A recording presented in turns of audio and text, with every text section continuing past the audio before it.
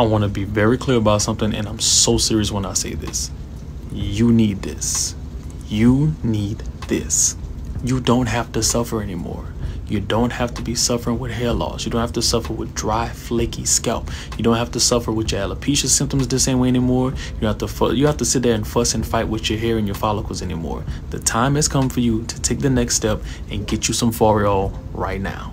It will behoove you to sit there and sit there and watch all these other people get this product and watch every single last person that's like, oh, I got this and my hair is growing back and my peach fuzz is growing back and oh my God, my alopecia is all this, that, and the third. Why are you sitting there and you not using it yet? Why are you so hesitant?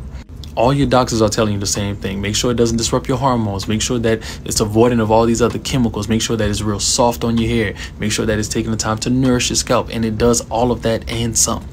And I know you've been beaten up on TikTok Shop and all these other places about like, get this, this works, and this, that, and the third. No, it's time for you to take the natural route. It's time for you to take something that that's specifically designed for you. It's time to take something that has been prayed over for you. And please pass this on to your community. Don't be the only one just out here with this information. You need to pass this to your community.